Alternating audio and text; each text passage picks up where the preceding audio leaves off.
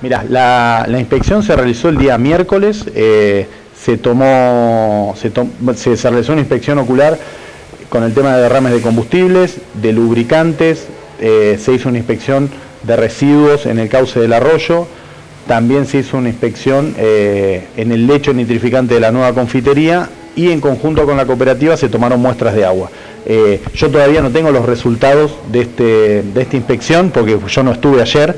pero, pero sí me tengo que juntar con el equipo técnico y los inspectores que llevaron adelante las, este, las inspecciones y bueno, y en base a eso este, determinar, digamos, a ver qué cosa se le va a pedir a la empresa. No, sí, la, hicimos de oficio, nosotros, digamos, formalmente no tenemos ningún tipo de denuncia, sabemos, digamos, por, por los medios y por la información que a nosotros nos fue llegando de que podía ocurrir algún tipo de, irregularidad, por eso la municipalidad de oficio fue realizó la inspección. Igualmente nosotros realizamos inspecciones todos los años, este,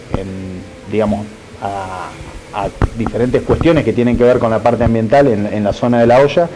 y, también aprovechamos, digamos, de cara a la temporada para, bueno, para, para poder ver cómo, cómo estaba la, la situación con, con, respecto al ambiente. No, no, las inspecciones que hemos hecho este, anteriormente siempre fueron este, inspecciones normales que este, siempre por ahí encontramos alguna cuestión que, es para mejorar, pero no para llevar adelante, digamos, alguna actuación administrativa que tenga que ver con una multa o con algún tipo de, de otro tipo de sanción más dura. Son cuestiones que este, menores que se han ido mejorando.